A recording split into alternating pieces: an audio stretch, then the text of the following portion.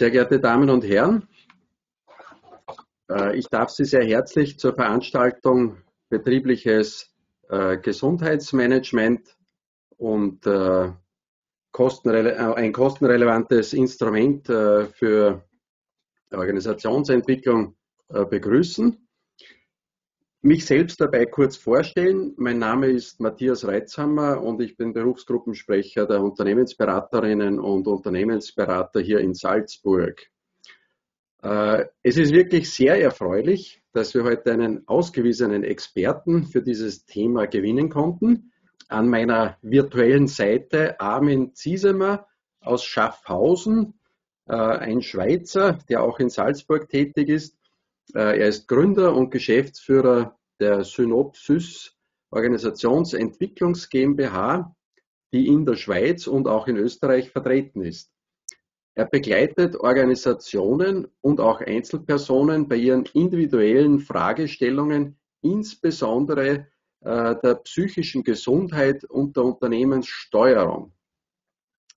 Als Betriebsökonom verfügt er über eine breite Praxiserfahrung unter anderem als Aufsichtsrat aus der Industrie und aus verschiedenen Familienunternehmen. Und als ehemaliger Physiotherapeut kennt er das Gesundheitswesen und die Praxisanforderungen erkrankender und auch erkrankter Menschen sehr gut. Er nutzt die Modelle der Transaktionsanalyse in der Organisationsentwicklung und im Coaching. Insbesondere begleiten ihn Themen der Potenzialentfaltung und der Gestaltung sinnstiftender Arbeit. Der zertifizierte Märchenerzähler ergänzt betriebswirtschaftliche Themen mit den Wirkmechanismen der Volksmärchen und erweitert damit den Reflexionsraum in der Führungsarbeit und Kulturentwicklung. Wir können uns also wirklich auf einen sehr spannenden Vortrag und auf einen sehr, äh, ja, bin schon sehr neugierig, äh, Vortrag freuen. In diesem Sinne, lieber Armin, darf ich dich um deinen Vortrag bitten. Alles Gute. Ja, vielen Dank, Matthias, für die Vorstellung und die Einleitung in dieses Webinar. Ich begrüße Sie ganz herzlich zum Thema betriebliches Gesundheitsmanagement. Kostenrelevantes Instrument für eine qualitative Organisationsentwicklung. Wir alle haben gemerkt in den letzten Monaten, dass die Arbeitswelt sich gewandelt hat und damit natürlich auch die Struktur der Zeit, wie wir sie verbringen. Und aktuell kommen langsam wieder die Arbeitswege zurück. Wir bewegen uns wieder etwas mehr. Die Türen öffnen sich langsam wieder wo vor nicht allzu langer Zeit klösterliche Klausengefühle äh, entstanden beim einen oder der anderen. Neu braucht es am Arbeitsplatz wieder Absprachen über die Büropräsenz. Das Alltägliche wird zur Herausforderung und auch zu einem Teil der Arbeitszeit und des Arbeitsalltags. Da und dort gibt es wieder Kaffeepausen für einen unverfänglichen Austausch. Es entstehen wieder Rituale. Präsenzanlässe erlauben langsam wieder die unmittelbare Begegnung und die zeigen aber auch wieder, welches Konfliktpotenzial das Aufeinandertreffen in vivo wieder bringt. Organisation wird also langsam wieder spürbar, wird langsam wieder konkret, nachdem ein Großteil der Organisation einfach hinter dem Bildschirm stattgefunden hat über viele Monate in der letzten Zeit. Mein Name, wie Matthias schon gesagt hat, ist Armin Zieser und ich bin Gründer und Geschäftsführer der Synopsis Organisationsentwicklung GmbH in der Schweiz und auch in Österreich, in Salzburg tätig. Und mich bewegen im Wesentlichen drei Themenfelder. Zum einen ist es das betriebliche Gesundheitsmanagement, die Ökonomie. Ich bringe mit zwölf Jahre Unternehmenssteuerung, Finanzen, Rechnungswesen, fünf Jahre betriebliches Gesundheitsmanagement im Sinne von Systemen und Prozessen und vier Jahre blicke ich auf physiotherapeutische Tätigkeit zurück. Neben der Ökonomie beschäftige ich mich seit mehreren Jahren wie Matthias schon gesagt hat, mit der Transaktionsanalyse der psychologischen Methode, vornehmlich im Feld Organisation. Bin da acht Jahre in der Beratung tätig, sowohl in Einzelbegleitungen wie auch für Organisationen. Seit drei Jahren begleite ich auch Stellensuchende auf ihrem Prozess und dort insbesondere bei CEO-Coachings äh, begegnet mir eben immer wieder das Thema der Sinn- und der Potenzialentfaltung, insbesondere in der Männerarbeit, in der Führung, wo es mit Harald Burgauner eine Kooperation gibt, die heißt Männer in die Führung, in der wir Männer versuchen, in der Führung mehr in ein neues Arbeitsfeld, in neue Arbeitshaltungen zu bringen. Und dann das letzte Feld, das, äh, was die Menschen immer so interessiert an mir, ist das Thema der Mythologie. Es geht um die Wirkmechanismen der Volksmärchen. Als zertifizierter Märchenerzähler habe ich zwei Jahre eine Ausbildung absolviert zum äh, Erzähler und bringe auch vier Jahre Bühnenerfahrung mit in der Kleinkunst.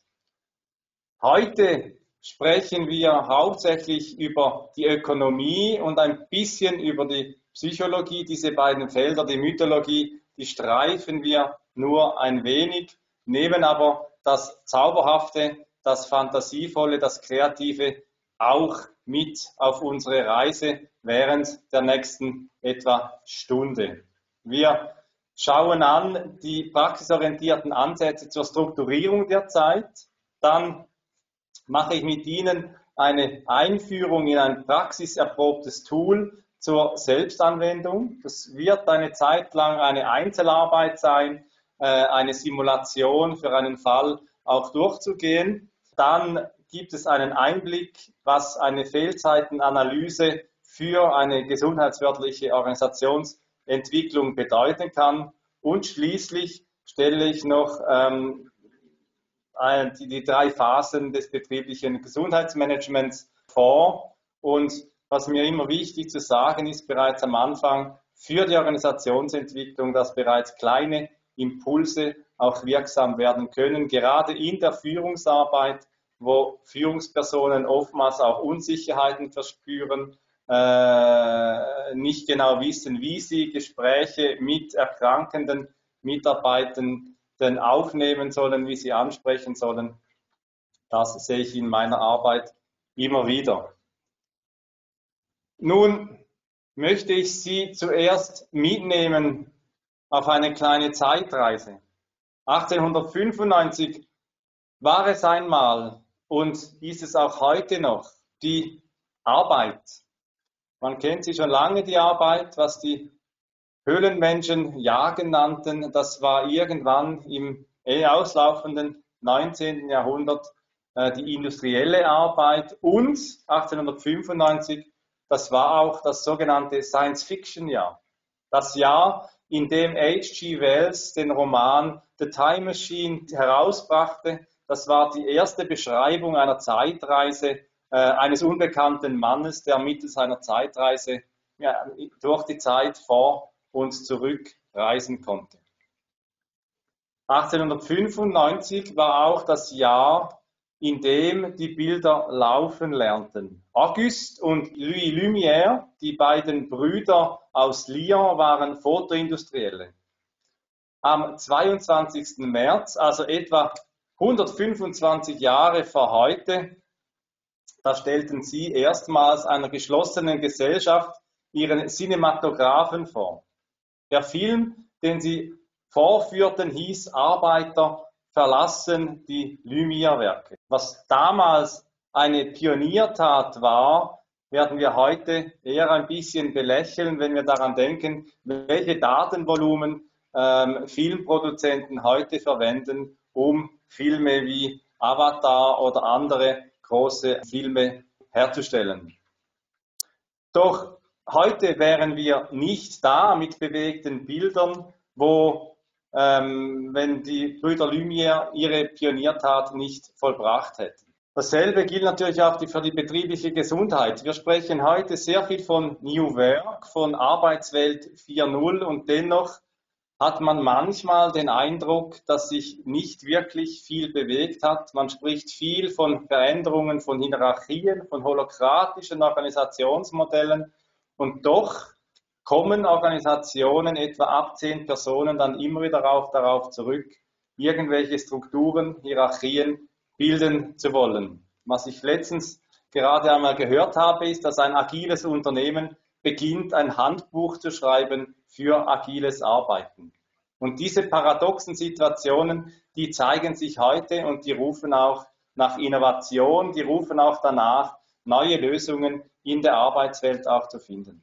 Wenn wir jetzt zurückreisen ins Jahr 1895 und uns einlassen auf diesen Film, wo die Bilder zu laufen lernten, den Film Arbeiter verlassen die Lumière-Werke, dann bitte ich Sie, während dieser anderthalb Minuten etwa sich selbst zu fragen, wann erlebe ich mich bei dieser Arbeit gesund? Und wenn Ihnen ein Gedanke kommt, dann zögern Sie nicht, und äh, schreiben dieses Stichwort einfach in den Chat hinein. Ich wünsche viel Vergnügen mit einer Reise von etwa 90 Sekunden zurück in die Zeit, als die Bilder laufen lernten.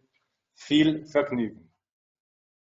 Ja, das Tor schließt sich langsam wieder und der Feierabend kann kommen. Ich danke Ihnen, sind Sie heute nach Ihrem Feierabend noch hier in diesem Webinar und denken mit mir zusammen nach über das Thema betriebliche Gesundheit. Es hat im Chat eine Rückmeldung gegeben. Vielen Dank dafür. Ich erlebe mich bei der Arbeit gesund, wenn ich Erfolgserlebnisse habe.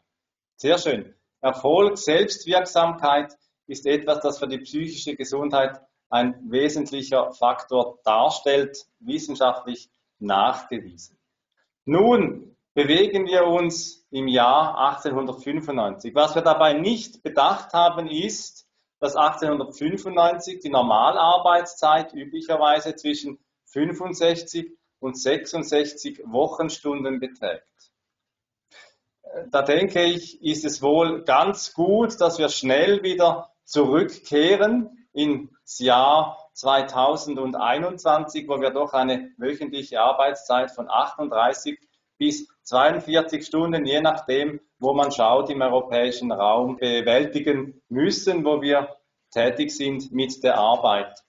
Nun stellt sich die Frage, was ist ein Geschehen in dieser Zeit, in der wir viel mehr Zeit eigentlich haben für etwas anderes als die Arbeit. Eigentlich müssten wir uns ja in einem Schlaraffenland bewegen, in einem Land, der faulen Affen oder eben der Schlauraffen, wie es heißt, in einem Land, in dem in den Flussbetten Honig, Milch oder Wein fließt, dort wo die Tiere gesotten herumhüpfen oder die Tauben gebraten in den Mund fliegen. Am Wegrand würden anstatt Steine Käse herumliegen und genießen, ja, genießen, das wäre die größte Tugend und harte Arbeit und Fleiß das würde im Schlaraffenland als Sünde betrachtet. Dieses antike Motiv, das bereits Vergil beschrieben hat im goldenen Zeitalter, das wurde dann von Bechstein, von Ludwig Bechstein, dem Märchensammler, noch aufgeschrieben und spätestens dann die Brüder Grimm, die haben es entdeckt, denn das Schlaraffenland, das scheint ein Lügenmärchen zu sein. Wenn wir auf die andere Seite schauen, haben wir zwar weniger Arbeitszeit, aber die psychischen Erkrankungen nehmen seit einigen Jahren äh, wesentlich zu. Die deutsche, die DRK, die Deutsche Krankenkasse, die hat festgehalten in ihrem Bericht für 2020, Höchststand bei Fehltagen wegen psychischer Erkrankungen etwa 265 Tage. Das ist ein wesentlicher Zunahme von mehr als 50 Prozent gegenüber 2010. Aber auch in Österreich, wenn man schaut, ähm, steigen die psychischen und die Verhaltensstörungen wesentlich an. Was ein bisschen ein Trost ist, ich bin hier in Salzburg und wenn ich im nationalen Vergleich schaue, dann äh, gibt der Fehlzeitenreport bekannt der Wirtschaftskammer Österreich, dass das Bundesland Salzburg mit Abstand die geringsten Krankenstände nach Bundesländern aufweist. Und vielleicht liegt es an irgendeinem Grund, den wir noch etwas weiter äh, noch ergründen dann können. Auf jeden Fall ist bekannt, dass körperliche Arbeiten weitestgehend in den Hintergrund gerückt sind. Wir sprechen von digitaler Transformation, von Digitalisierung, von künstlicher Intelligenz, von äh, Robotik, was die Frage aufwirft, was tut denn der Mensch noch in seiner Arbeit, wo entwickelt sich die Arbeit hin? Und das kann immer wieder auch zu psychischen Beeinträchtigungen dann auch führen, wenn Sinn und Perspektive verloren geht.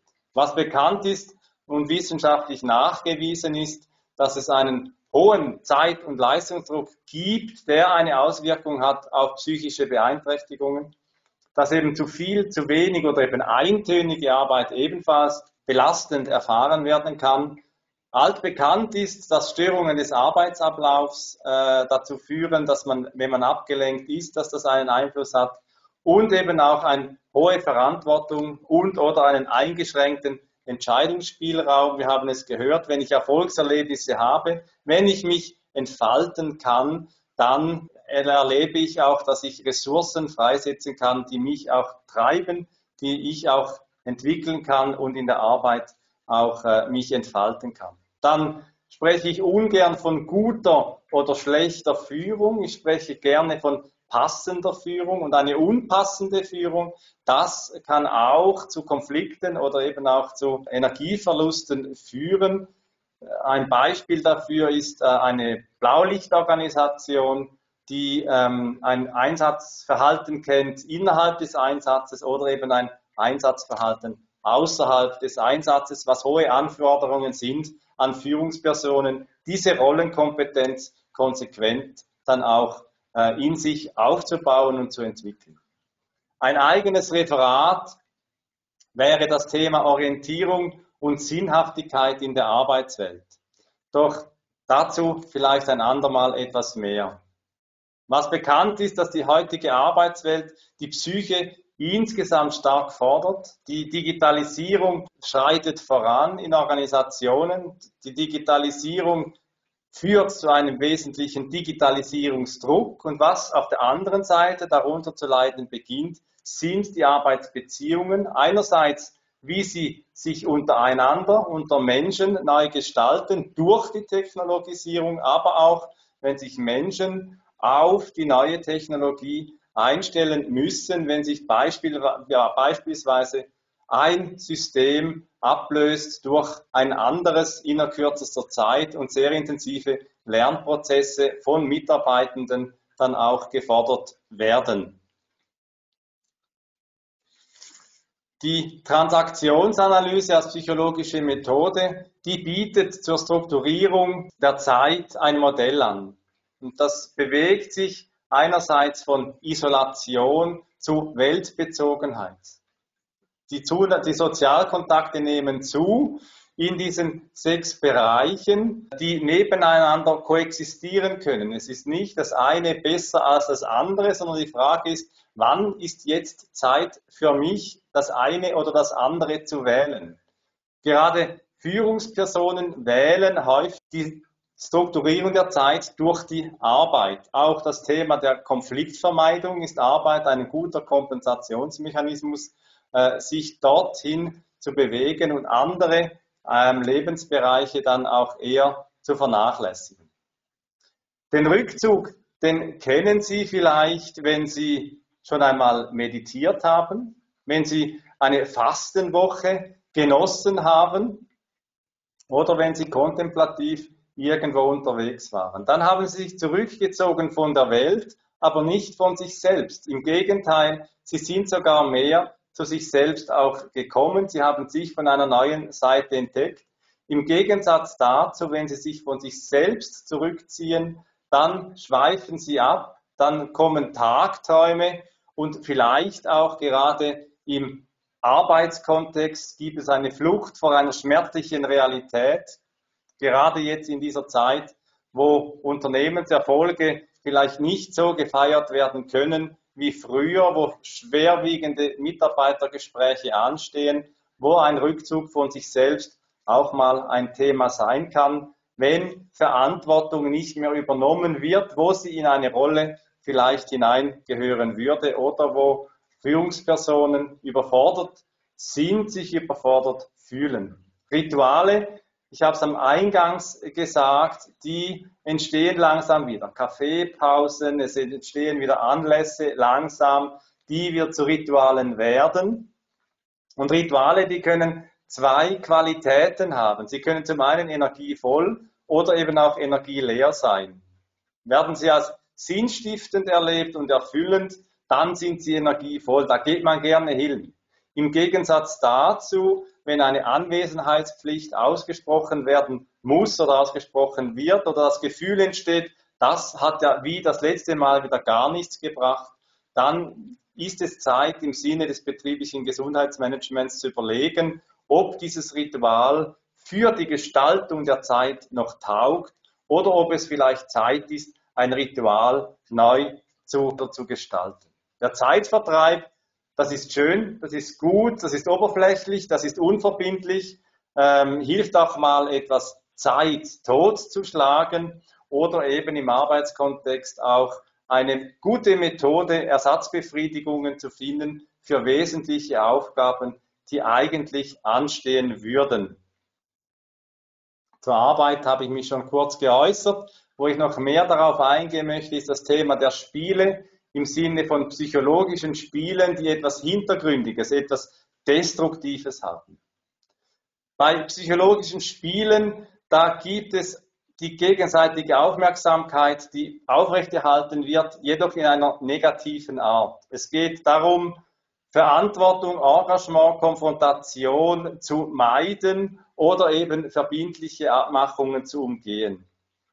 Man bleibt im Austausch, aber doch gibt es eine Distanz, die entsteht durch diese Spiele. Ein beliebtes Spiel in Organisationen äh, lautet Ja, aber. Ja, aber das haben wir schon immer so gemacht. Ja, aber das geht doch nicht. Ja, aber das kann man doch nicht. Sind Formulierungen diesem Ja-Aber-Spiel immer wieder mal auftreten und an diesen Formulierungen kann dieses Spiel auch sehr gut entlarvt werden und auch aufgedeckt werden, um dann eben auch zu schauen, wie kommt man entweder in eine Arbeitsbeziehung oder eben dann zu einer bezogenen äh, Autonomie. Die Ziele von psychologischen Spielen ist jeweils die eigene Weltanschauung zu bestätigen, die ja auch legitim ist. Jeder hat sein Bild von der Welt. Das Schwierige dann in Organisationen, das Herausfordernde ist dann, dass das Spiel ja aber zum Beispiel auch in ein Spiel hast den Schuldigen übergehen kann. Das Gefühl kommt auf, es geht immer wieder um dasselbe Spiel, es resultiert eine emotionale Betroffenheit, man merkt, es kommt Wut, Schmerz oder äh, ein anderes negatives Gefühl in einem auf. Es gibt Sticheleien, es gibt Dinge, wo man merkt, da hätte ich eigentlich etwas Besseres sagen können oder etwas Passenderes. Und es entsteht eine Betroffenheit. Vielleicht sogar geht es dann so weit, dass der Wunsch entsteht zu sagen, das nächste Mal haue ich aber wirklich auf den Tisch. Und man tut es dann doch nicht. Und das Muster in der Organisation wiederholt sich wieder und wieder und wieder. Die Konsequenz ist bei psychologischen Spielen, dass sich die Potenziale nicht entfalten können, sowohl bei, beim Individuum wie auch in der gesamten Organisation. Spiele sind also wirkliche Zeit- und Energiefresser für eine Entwicklung hin zu einer konstruktiven Zukunft eines Unternehmens. Der letzte Bereich ist die bezogene Autonomie. Das ist die herausforderndste Art, seine Zeit zu verbringen, denn darin leben wir in einem Widerspruch. Und zwar insbesondere in der Führung ist es auszuhalten, sich selbst zu bleiben und gleichzeitig in Beziehung zu sein. Und zwar in einer authentischen Beziehung zu sein, die Organisation im Sinne von menschlichen Werten auch weiterentwickelt und weniger einfach im Sinne von Arbeit, von mechanistischem Denken, dann auch ähm, Führungsarbeit verstanden wird. Eine Grundhaltung, die hier hilft, äh, zu, da, sich darin hinzuentwickeln, ist, ich bin okay, du bist okay und wir schauen gut zueinander im Sinne von, jetzt gelingt es, jetzt sind wir am Lebendigen der Organisation dran und begegnen uns als Menschen. In Organisationen gibt es ab Fehlzeiten. Das ist ganz normal. Zum einen gibt es ähm, Abwesenheiten von Arbeitnehmern vom Arbeitsplatz, die geplant sind. Urlaub, jetzt kommt die Sommerzeit. Danke, sind Sie da und äh, nehmen sich die Zeit, und auch wenn Sie vielleicht im Urlaub sind. Weiterbildung, Bundesheer, äh, was es auch immer gibt an geplanten Abwesenheiten. Und dann gibt es aber bei äh, Abwesenheiten, bei Fehlzeiten auch das äh, Ungeplante. Einerseits Krankheit natürlich, psychisch oder äh, physische Krankheiten, Unfälle oder dann eben im psychischen Bereich den Absentismus im Sinne einer inneren Kündigung, der resultiert aus unterschwelligen oder offenen Konflikten mit Arbeitskollegen, das im Extremfall dann als Mobbing bezeichnet wird oder dann eben in hierarchischen Organisationen als, als Bossing ähm, angesehen werden kann.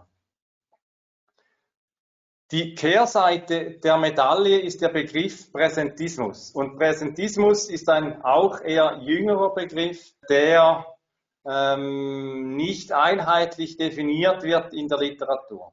Genauso wie New Leadership oder New Work sind es Begriffe, die ihre Inhalte erst suchen müssen. Und der Präsentismus kurz, der sagt aus, dass ein Mitarbeiter trotz Krankheit anwesend ist. Das ist häufig der Grund, wenn jemand aus Angst vor Arbeitsplatzverlust am Arbeitsplatz erscheint und eben Angst hat zum Beispiel vor daraus resultierenden finanziellen Folgen, wenn er seinen Sinn nicht mehr in der Organisation sieht und doch sagt, ich muss jetzt jeden Tag noch dahin. Leider entstehen keine einheitlichen Handlungskonzepte für den Umgang mit diesem Phänomen. Oder vielleicht nicht leider, sondern eben zum Glück. Weil das gibt die Möglichkeit, in einer neuen Arbeitswelt auch individuell Lösungen zu suchen. Was ist für Ihren jeweiligen Kontext eben genau das Passende, um mit diesem Präsentismus umzugehen? Wir haben gesehen, dass 1895 die Arbeitszeit etwa 60, 65 Stunden betrug, heute nur noch rund 40 und diese 20 Stunden, die werden ja irgendwie auch im Leben verbracht. Und da stellt sich die Frage, sicher in Zukunft mit der Digitalisierung, was tut denn der Mensch noch in seiner Arbeitszeit, wie wird das noch definiert? Was man weiß, ist, dass äh, wesentliche volkswirtschaftliche Kosten aufgrund des Präsentismus verursacht werden. Es gibt die Studie von Booth Company aus dem Jahr 2011, die aussagt, dass rund 225 Milliarden Euro pro Jahr. Das waren damals etwa 10 Prozent des deutschen Bruttoinlandproduktes durch einen Präsentismus verursacht wurden. Ich weiß aus meiner Zeit in der Unternehmenssteuerung, dass Zahlen auch immer Anlass geben für psychologische Spiele. Ich weiß, dass die Zahl, die geglaubt wird, am Schluss auch die richtige ist. Und dass es vielleicht auch etwas Schamanisches hat für die Unternehmensführung, dann zu sagen, das ist jetzt die richtige Zahl oder das ist die andere, manchmal im Sinne eines Würfelspiels. Wenn wir heute mal wegschauen von den Zahlen und mehr das Thema der betrieblichen Gesundheit in den Fokus rücken, dann kann ich Ihnen ein Praxistool sehr empfehlen. Es ist entwickelt in Zusammenarbeit von äh, verschiedenen Organisationen, wird vertreten durch eine äh, schweizerische Krankenkasse. Also ich, ich habe das äh, kurz getestet, also von meiner Seite aus, ich glaube, ich habe soweit verstanden, wie das funktioniert, finde es ein, ein sehr interessantes Tool. Ich glaube aber, also für mich persönlich, ich werde sicher längere Zeit dafür benötigen, um all das auszuprobieren und, äh, und, und meine Erkenntnisse daraus zu ziehen.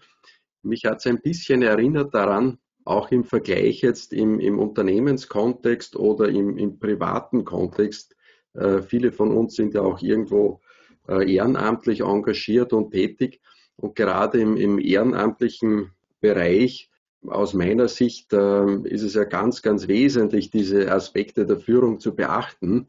Ähm, ich sage unter Anführungszeichen im schlimmsten Fall im Firmenkontext kann man immer noch sagen, okay, du bekommst dein Gehalt dafür, also das ist deine Aufgabe, bitte mach das. Äh, das im Vereinswesen oder im, im ehrenamtlichen Bereich zu tun, ähm, bekommt man eine andere Antwort, Retour. Also äh, dieser Vergleich äh, hat sich bei mir ähm, aufgedrängt aufgrund dieses Spiels. Ich, mir ist aber eine Frage eingefallen äh, zu deinem bisherigen Inhalt, den du gesagt hast. Ähm, also für mich war wirklich spannend, also diese sechs Aspekte in der Transaktionsanalyse, das war für mich völlig neu, hatte ich so noch nicht gekannt. Ähm, also von Rückzug äh, über Spiele, äh, Zeitvertreib, Rituale. Äh, war wirklich ein, neuer Zugang, den ich so noch nicht kannte. Und zu Beginn hast du auch so nebenbei erwähnt, dass du mit Harald Burgauner ähm, kooperierst oder, oder beruflich tätig bist von den Männerwelten in Salzburg. Und es ist mir schon auch eines äh, aufgefallen, die Wirtschaft ist äh, trotz aller Bemühungen immer noch sehr, sehr männerlastig, männerdominiert. Äh, gerade in Führungspositionen äh, sind mehrheitlich Männer vertreten. Äh, gibt es da von deiner Seite aus äh, Tipps oder Tipps oder Tricks, wie vielleicht gerade Männer in Führungspositionen, die jetzt, das ist jetzt meine Vermutung, nicht, nicht so sehr auf ihre Gesundheit achten wie vielleicht Frauen. Äh, gibt, also erstens stimmt diese Hypothese und äh, gibt es da Tipps und, und Anleitungen von deiner Seite dazu? Ich wäre kein professioneller Berater, wenn ich einfach Tipps und Ratschläge geben würde. ähm, was, ich, was ich tun kann bei dieser Frage, ähm, ist daraus hinzuweisen, dass üblicherweise das krank macht, was als krankmachend empfunden wird. Also gerade Leistung ist ja nicht per se etwas Schlechtes, sondern es ist vielleicht ein empfundener Leistungsdruck. Und hier abzuwägen, wo habe ich Ressourcen auch, um diesen Leistungsdruck auch zu relativ zu, zu mindern oder eben auch Wege zu suchen, ihn einen Ausdruck zu kommen, der für mich ähm, auch belebend wirkt, im Sinne von einem positiven Stress. Äh, mhm. Das ist etwas, was man sicher sagen kann. Und auf der anderen Seite natürlich gerade bei Männern, äh, was ich immer wieder sehe in meiner Arbeit, ist der Zugang zur eigenen Emotionalität und zum eigenen Körpererleben wesentlich. Und hier gibt es schon eben auch Varianten aus der Arbeit, gerade wenn Männer eben in der Führung sich sehr stark in den Arbeitskontext auch hineingeben, äh, zu schauen, was gibt es noch für andere Bereiche der Zeitgestaltung, die mich auch beflügeln können. Und dann eben auch den Zugang zu finden äh, zu ihrer eigenen Emotionalität. Und das ist Arbeit, die eben gerade die Zusammenarbeit mit Harald Burgauner ähm, so spannend macht, zu versuchen, ein Feld aufzutun und dieses Thema im betrieblichen Kontext eben auch aufzutun, weil was er gut kennt, ist das Thema, wenn ähm, die Gewalt schon passiert ist. Und ich komme dann später im Referat noch darauf zurück. Der Ansatzpunkt versucht insgesamt im betrieblichen Gesundheitsmanagement dorthin zu schauen, wenn Menschen noch handlungsfähig sind, wenn Menschen noch in der Organisation sind, noch nicht erkrankt sind, aber wenn man merkt zum Beispiel, sie, das Fehlzeitenverhalten verändert sich, sie werden eben fahriger, wie in diesem Beispiel des Innendienstes und hier als Führungsperson, gerade als männliche Führungsperson, dann auch hinzuschauen und ähm, diese Menschen auch anzusprechen. Ich glaube, man kann besser hinschauen und ansprechen, als in der in dem immer noch gültigen Paradigma zu leben als Führungsperson, ja, Beruf und Privat, das gehört getrennt, weil am Schluss hat dann die Führungsperson das Problem, wenn, äh, wenn es dann nicht mehr aufgeht mit dem Team, mit der Führung aufgrund einer Langzeiterkrankung. Mhm. Vielen Dank. Ich ja, freue mich auf deine künftigen Ausführungen. Dankeschön. Gut. Jetzt haben wir uns dem Menschen in der Organisation zugewandt und ähm, das ist ein wesentlicher Teil. Human Capital Management sagt man ja dann oft, äh, der Mensch in der Organisation als äh, Mensch und Faktor für Produktivität, für gemeinsames Zweckerreichen, äh, sowohl in Non-Profit-Organisationen, wie du, Matthias, auch gesagt hast, dass so diese Non-Profit-Organisationen ehrenamtliche Arbeit und betriebliche Arbeit, wo dann vielleicht auch die Haltung entstehen kann, ich bekomme ja meine Genugtuungssumme, meine Genugtuungssumme Ende Monat für das, was ich tue. Und jetzt im zweiten Teil geht es eben genau um diese Summen. Wir haben am Anfang oder vorher vor der Übung die äh, Boost-Studie gesehen mit diesen 225 äh, Milliarden Euro äh, für, für ähm, Absentismus. Über die Zahl kann man sicher beliebig streiten, ob sie höher oder tiefer ist. Was unbestreitbar ist, dass Fehlzeiten kosten. Und zwar kosten sie direkt und indirekt. Direkt kosten sie, weil die Arbeitszeit einer Person ausfällt. Es gibt unproduktive Stunden, es gibt Lohnersatzkosten, die anfallen und es gibt vielleicht Kosten für Schäden, Anlageschäden bei Unfällen.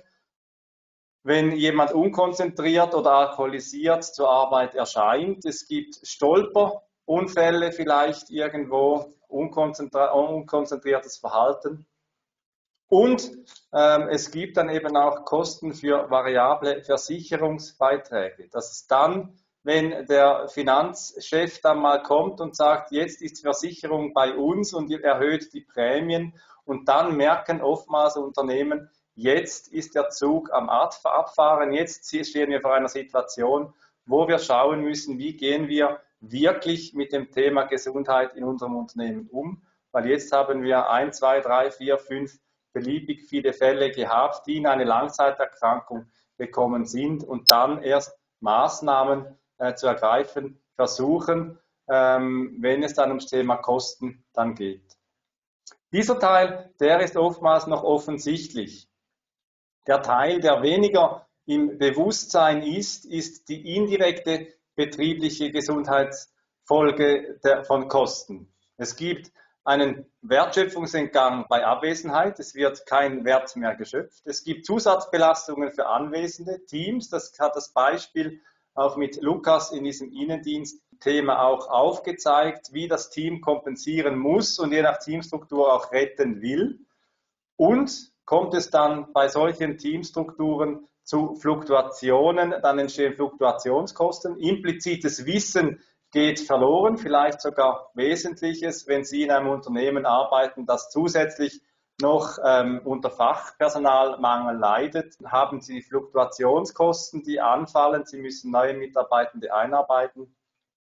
Und eben dann Stellvertreterinnen, währenddem das ein Team sich selbst stabilisiert oder Aushilfen temporär ähm, eingestellt werden, dann irgendwo einarbeiten. Die verdeckten Kosten, die sind jeweils schwierig zu bemessen. Es geht um Themen wie Leistungspotenzial. Wie stark wird ein Team oder eine Organisation eingeschränkt in ihrem Leistungspotenzial? Konzentration bei Überforderung weiß man, Konzentration nimmt gerne mal ab. Eben es, ähm, es geschehen dann wieder mehrere Schäden durch Unfälle. Die Motivation kann sukzessive abnehmen. Ähm, die Qualität der Arbeit, der Resultate, der Produkte kann abnehmen und schließlich das Image des Unternehmens kann leiden, wenn man dann einmal hört draußen unter zwei Menschen, wenn die eine die andere fragt, du, ich möchte mich gerne bei dem Unternehmen XY bewerben, kannst du mir das empfehlen, soll ich mich dort bewerben? Und die andere Person gibt zur Antwort, besser bewirb dich dort nicht, wie wenn du dort hingehst, dann wirst du krank. Solche Botschaften höre ich da und dort immer wieder mal und das dann wirklich betriebswirtschaftlich in Kosten umzumünzen, das ist relativ schwer. Äh, wesentlich ist einfach zu berücksichtigen, dass es eben diese indirekte betriebliche Gesundheitsfolgekosten, dass es die gibt. Man kann das auch rechnen, ganz betriebswirtschaftlich. Es gibt diese Realität, dass man einen Umsatz hat, Return on Sales, Personalaufwand, das ist dann wirklich so die ganz betriebswirtschaftliche Seite. Keine Angst, wir kommen jetzt nicht in eine finanzwirtschaftliche äh, Lektion eines BWL-Studiums, sondern was wir hier wirklich wesentlich ist, darauf hinzuweisen, dass man in einem Higher Controlling solche Kompetenzen auch aufbauen kann und wie in diesem Beispiel auch einen Tagessatz rechnen kann ähm, des Wertschöpfungsentgangs pro Person pro Tag direkt gerechnet. Gibt hier in diesem Beispiel etwa 450 Euro und wenn man in der Schweiz nimmt man etwa so üblicherweise den Faktor 2,5, der die indirekten Kosten mit einberechnet. Im österreichischen Fehlzeitenreport 2020 rechnet man etwa mit einem Faktor von 1,8. Also irgendwo so zwischen, ich würde sagen, 1,5 und 3, je nach Branche und was auch innerhalb äh, Einschätzungen von einem Führungsteam auch dann als angemessen erscheint, kann man den direkten äh, Wertschöpfungsentgang noch hochrechnen. Und dann sehen wir mit diesem Faktor 2,5, dass in diesem Beispiel ein totaler Wertschöpfungsentgang pro Person pro Tag total etwa 1100, 1200 Euro beträgt. Und das dann gerechnet auf Sollarbeitstage beziehungsweise auf effektiv angefallene Fehlzeiten, das kann dann doch einmal eine erstaunliche Summe geben, einerseits direkt gerechnet oder eben dann noch mit einem Aufschlag zum indirekten Wertschöpfungsentgang. Hier können Steuerungsinstrumente und Steuerungskonzepte äh, eingeführt werden im HR-Controlling oder auch im Finanzcontrolling, die eben das Thema Gesundheit von einer sehr betriebswirtschaftlichen Seite her dann auch aufnehmen. In meiner Denklogik arbeite ich so mit drei Phasen im betrieblichen Gesundheitsmanagement. Zum einen ähm, berücksichtige ich die Prävention, dann die Früherkennung und Intervention und zuletzt dann die berufliche Reintegration Langzeiterkrankter. Das sind so die drei grundsätzlichen Säulen der, des betrieblichen Gesundheitsmanagements. In der Vergangenheit, Sie sehen die Gesundheitskostenkurve, ähm, wurde viel investiert im Bereich der Prävention. Es ging um ergonomische Arbeitsplätze, es ging um Pilateskurse, Yogakurse, Fitnessabos, Events, Referate, Vorträge zur Sensibilisierung in der Prävention. Das ist alles sehr gut und lohnenswert, das zu tun, weil es steigert auch die Motivation und die gefühlte Gesundheit eines Mitarbeitenden, wenn er weiß, mein Arbeitgeber tut etwas für meine Gesundheit.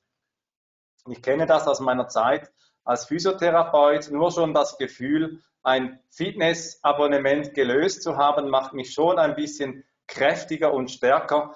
Brauchen muss ich es ja dann vielleicht doch nur einmal im Monat, obwohl ich täglich gehen könnte. Die Schwierigkeit in der Prävention ist jeweils, dass es ein Gießkannenprinzip geben kann. Man setzt eine Maßnahme, die eben mehr den Aspekt eines Fringe Benefits erfüllt, aber nicht wirklich im Sinne einer Wirkung für die betriebliche Gesundheit angebunden an eine konkrete Herausforderung, dem das Unternehmen gesundheitlich gegenübersteht. Es bringt vielleicht wenig, wenn man ähm, ein Fußballturnier organisiert in der Prävention für die Fitness, wenn das Unternehmen hauptsächlich psychische Beeinträchtigungsbilder im Alltag dann auch zeigt, beispielsweise. Dann auf der anderen Seite bei der beruflichen Reintegration Langzeiterkrankter, dort weiß man, dass die Kosten sehr hoch sind, die Gesundheitskosten, und der Nutzen je investiertem Euro eben relativ tief ist. Es braucht viel, um einen Menschen wieder zurück in den Arbeitsprozess zu reintegrieren. Wenn es gelingt, dann ist viel gelungen, auf jeden Fall zu einem so späten Zeitpunkt, wenn eine Person wieder reintegriert werden kann. Es gibt ja dann auch je nach Unternehmen die Kultur, dass man dann froh ist, wenn die Kasse gewechselt wird und man die volkswirtschaftlichen Kosten nicht tragen muss. Im Sinne eines Case Managements Unternehmen aber, die eine Haltung haben für die Reintegration, zu schauen, dass Menschen am Arbeitsplatz auch bleiben und dass großes individuelles Leid, großes Leid in Familiensystemen, existenzielle Themen, das mit einer Krankheit immer wieder mitkommt, äh, wenn solche Haltungen in Aufsichtsräten, Geschäftsführungen und Führungsteams, wenn die beginnen, äh, vermehrt auch Einzug zu halten, dann kommt fast schon zwingend die Frage, ja, was tut man dann? Wie geht man mit dem Thema betrieblicher Gesundheit effektiv um? Und was ich hier sehe immer wieder ist, dass der Bereich Früherkennung und Intervention, dass der unbekannt ist, dass der auch oftmals vernachlässigt wird. Die Herausforderung hier ist, ähm, dass Führungspersonen lernen, Themen anzusprechen, zum einen. Äh, zum anderen, dass Mitarbeitende sich in einem vertrauensvollen Unternehmensklima auch befinden, wo sie sich trauen, ihrer Führungsperson auch anzuvertrauen, äh, dass es ein Problem gibt. Der Klassiker, Menschen kommen oftmals Freitag oder Montag nicht zur Arbeit. Das Team baut das Bild auf, diese Person war wieder feiern und äh, macht so das Freitagsfrei, das Montagsfrei. Was man nicht weiß, dass in Realität dieser Mitarbeitende oder diese Mitarbeitende in eine Beziehungskrise stürzt, dass diese Person vielleicht in einer Scheidung ist, dass äh, eine finanzielle Überschuldung passiert oder dass andere Probleme dann noch auftauchen und dann aus Sicht des Unternehmens diese Person entsprechend stigmatisiert wird. Und wenn man hier früh intervenieren kann, interveniert im Sinne einer professionellen Haltung, dass der Verlauf der Langzeiterkrankung früher unterbrochen werden kann und man mutig in eine Reintegration sehr früh bereits einsteigt, um eben die, die Risiken oder die Themen, die ich vorhin auf der Kostenseite skizziert habe, zu mindern bzw. zu vermeiden. Ich habe von Mut gesprochen und es war einmal und ist noch heute, was einmal die Arbeit war, ist ebenso die Angst. Menschen sind konfrontiert mit Angst jeder hat Angst. Angst darf integriert werden und als normales Gefühl auch angenommen werden. Es darf auch mal als Unsicherheit bezeichnet werden. Muss nicht immer gleich Angst sein, sondern kann auch eine Befürchtung sein. Es gibt Formulier andere Formulierungen dafür. Ähm, was wichtig ist zu wissen, ist, dass Angst lähmt. Angst ist Hindernis für Entwicklung. Und auf der anderen Seite tut eben Mut gut. Und was ich Ihnen zum Schluss dieses äh, Webinars mitgeben kann, ist Mut tut gut. Wagen Sie Aufrichtigkeit und emotionale Transparenz in Ihrem Führungsalltag, in Ihrem Unternehmensalltag, im Arbeitsalltag. Achten Sie auf eine Balance zwischen Emotionalisieren und Rationalisieren. Bieten Sie klare, transparente Kommunikation an und schauen Sie, dass Sie Wege finden, Beziehungen konstruktiv zu gestalten, von Mensch zu Mensch, im Sinne von ich bin okay, du bist okay und wir schauen gut zueinander. Nehmen Sie auch die eigenen Grenzen wahr. Das Helfen und das Retten wollen ist ebenso eine Gefahr wie das Wegschauen. Hier braucht es eine saubere Bewusstheit, wo liegen meine Kompetenzen, auch meine sozialen äh, Ressourcen und Fähigkeiten, schwierige Gespräche zu führen. Es gibt immer wieder Führungspersonen, die es gut meinen und äh, das Gegenteil von gut ist oftmals nicht böse, sondern gut gemeint. Und schauen Sie, dass Sie Ihre inneren Wirklichkeiten erleben und gemeinsam mit Ihren Mitarbeitenden im Team Realitäten gestalten, damit Sie eben im Unternehmen mehr Lebendigkeit erfahren können und eben auch den Mut finden, dies dem Lebendigen in der Organisation auch mehr nachzugehen. Wir reisen gegen das Ende ähm, des Webinars noch einmal zurück, gedanklich in das Jahr 1895, in das Jahr, als die Bilder laufen lernten. Und dort haben die Lumière-Brüder mit ihrem Cinematographen dieser geschlossenen Gesellschaft noch einen zweiten Film vorgestellt. Und dieser Film, der zeigt den, die Einfahrt eines Zuges in der Stadt La Ciudad.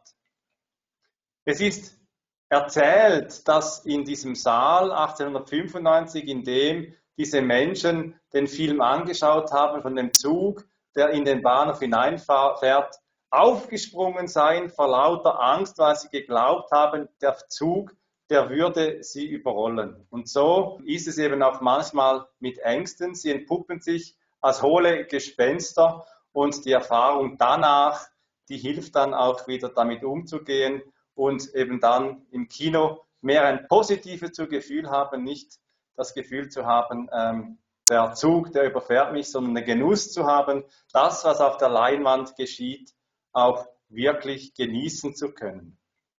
Ich lasse Ihnen den Film ähm, Ankunft des Zuges in La Ciudad noch laufen als Inspiration und Ausklang für die gesprochenen Worte. Und wenn Sie mögen, dann denken Sie während des Films noch darüber nach, wie Sie sich zu Ihrem mutigen Handeln selbst auch stimulieren.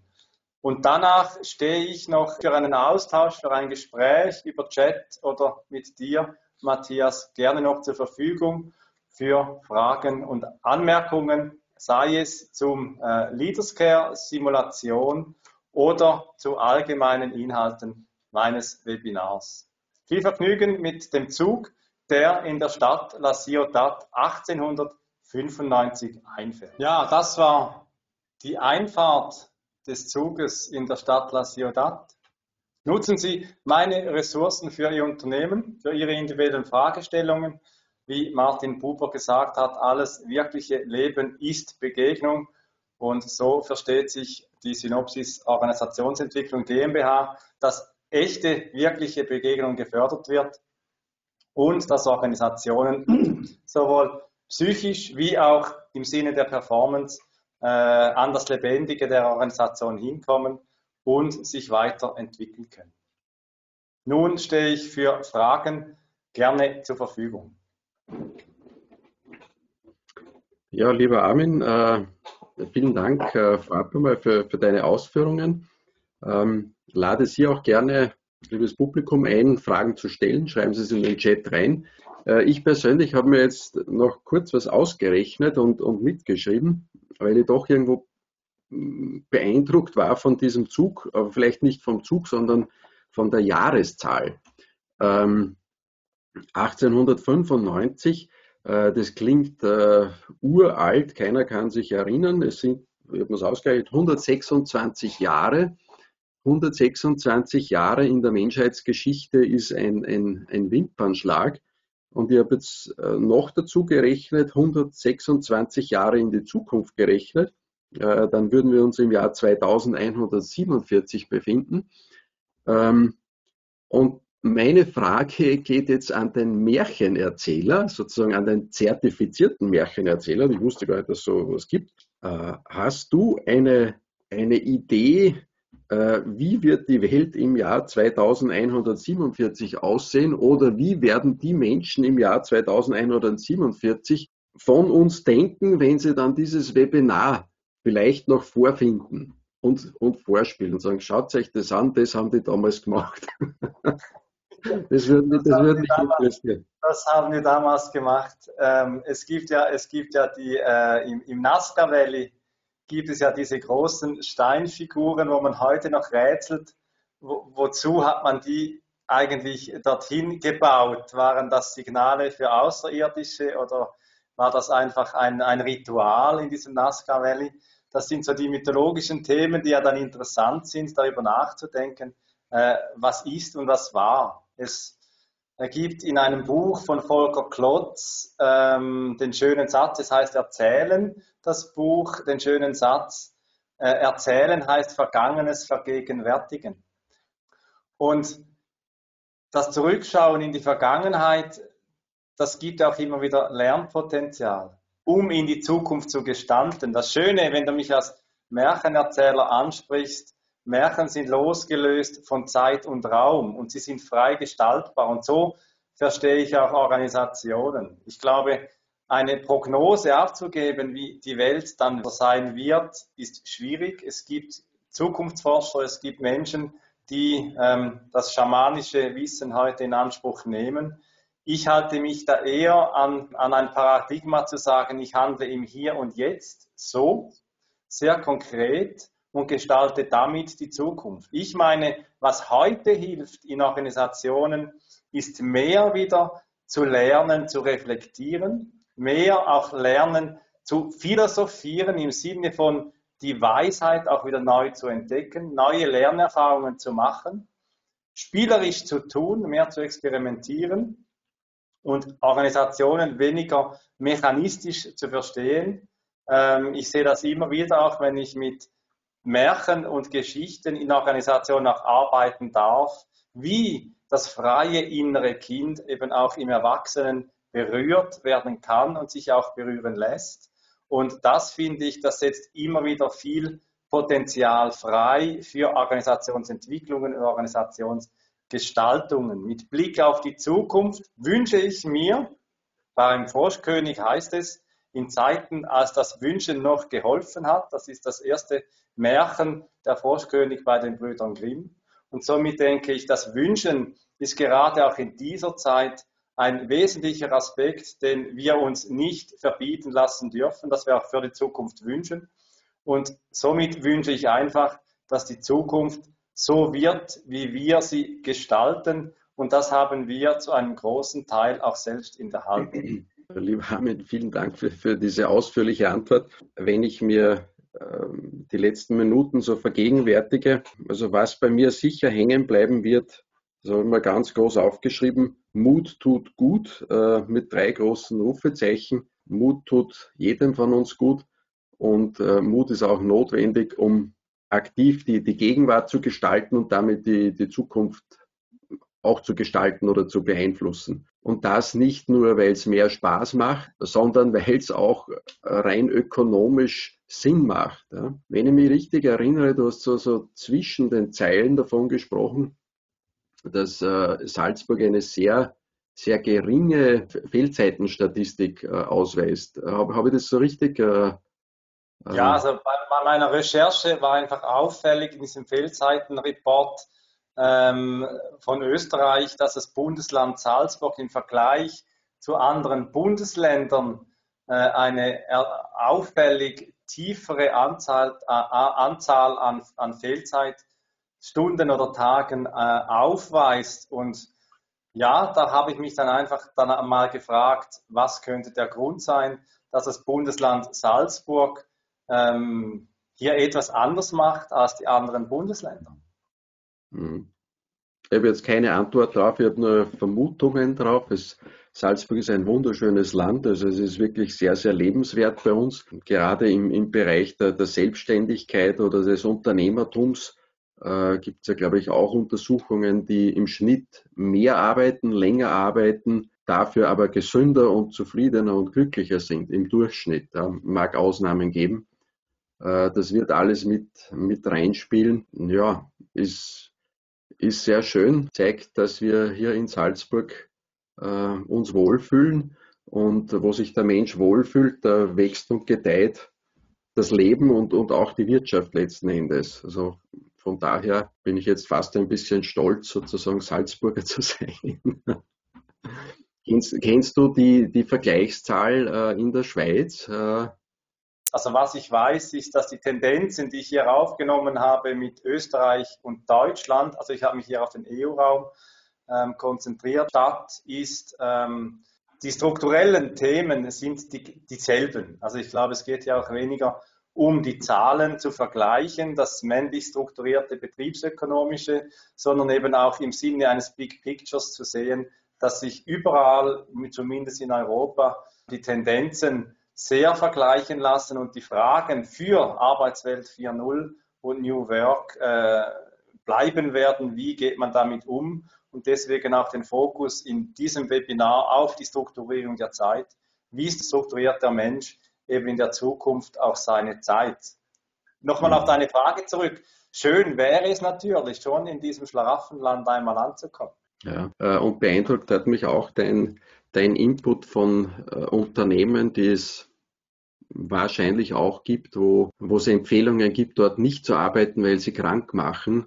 Ich gehe mal davon aus, dass das nicht im Sinne der, der Führungscrew ist oder der Personen, äh, dass das kein absichtliches Handeln ist, äh, sondern vielleicht andere Umstände sind oder, oder mangelndes Vermögen oder Hilfestellung in diese Richtung, weil das wäre ganz, ganz schlimm. Also ich kann mir das nicht vorstellen, weil ähm, wenn es den, den Menschen geht und, und sie sich wohlfühlen und gesundheitlich wohlfühlen und sich einbringen und positiv einbringen, dann entsteht ja so, so viel mehr an, an Mehrwert, als wenn das sozusagen die totale Kontrolle ist und, und äh, man ständig in Angst lebt. Äh, das, und genau wie du richtig äh, geschildert hast, Angst lähmt. Also so gesehen, man belächelt es vielleicht so, so ein bisschen Thema Gesundheit und Gesundheitsvorsorge, betriebliche Gesundheitsvorsorge. Ich denke aber, dass das ein ganz ein, äh, wirklich wesentliches Element ist. Und mein Zugang ist immer, es sind nicht die, die Firmen, die etwas machen, es sind immer die Menschen, die etwas tun oder nicht tun, äh, sowohl äh, von der Führungsebene als auch die, die Mitarbeitenden. Und ähm, diese Ressource heißt es schonend zu behandeln und, und äh, sozusagen bestmöglich in ihren Potenzialen zu entfalten, zum Wohle aller. Also davon bin ich zu 100 Prozent überzeugt. Ähm, das ist so wirklich mein, mein Credo, mein Zugang äh, seit vielen Jahren. Es ist der Mensch, der etwas bewegt und etwas tut, sozusagen. It, it is the people always. Es ist immer der Mensch. Es ist nicht die Maschine. Es ist nicht das Unternehmen die Menschen tun etwas oder sie tun etwas nicht. Ja, gut. Ja, vielen Dank, Matthias, für, für deine Ausführungen auch noch, die sich sehr mit meinem Beratungsverständnis auch decken. Ich meine auch Menschen gestalten Organisationen und das Nutzen von Digitalisierungsmaßnahmen ähm, sollen nicht einfach für die Digitalisierung eingesetzt werden, sondern wirklich auch zur Unterstützung eines bestimmten Organisationszwecks, das dann am Schluss eben auch ein wirtschaftliches und ein Wohlfahrtsfortkommen äh, für das Gesamte dann auch mit sich bringen soll. Ja. Gut, ich sehe noch kurz, äh, ob es Meldungen aus dem Chat gibt. Äh, wenn ich keine Fragen mehr sehe, zum jetzigen Zeitpunkt ist es natürlich auch möglich, äh, Fragen im Anschluss zu stellen, per E-Mail zum Beispiel. Äh, damit bedanke ich mich sehr, sehr herzlich, lieber Armin Ziesemer. Wirklich herzlichen Dank für, für dein lebendiges, märchenerzählendes und gleichzeitig auch anspruchsvolles Referat, für deinen Vortrag. Bei Ihnen, sehr geehrte Damen und Herren, möchte ich mich auch sehr, sehr herzlich bedanken für Ihre Aufmerksamkeit. Weiters möchte ich mich bedanken bei unserem Fachgruppenbüro der UBIT in der Wirtschaftskammer Salzburg für die Organisation, äh, namentlich bei unserem Geschäftsführer Herrn Dr. Martin Niklas sowie seiner Assistentin Frau Susanne Knaus und heute für die Technik äh, bei Frau Katharina Krabert und natürlich bei unserem UBIT-Obmann Magister Hans-Jörg Weidgasser, äh, der diese Dinge auch immer wieder forciert und, äh, und einfordert. Ja, sehr geehrte Damen und Herren, äh, sollten Sie weitere Fragen oder Wünsche an unsere Expertinnen und Experten in der Unternehmensberatung haben, dann wenden Sie sich bitte an das Fachgruppenbüro der UBIT in der Wirtschaftskammer Salzburg.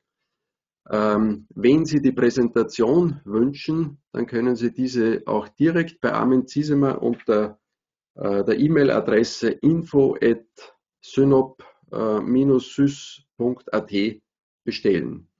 In diesem Sinne sage ich äh, vielen herzlichen Dank fürs Dabeisein und alles Gute für Sie und bis zum nächsten Mal. Danke und auf Wiedersehen. Auch einen schönen Abend und bleiben Sie gesund, psychisch wie physisch.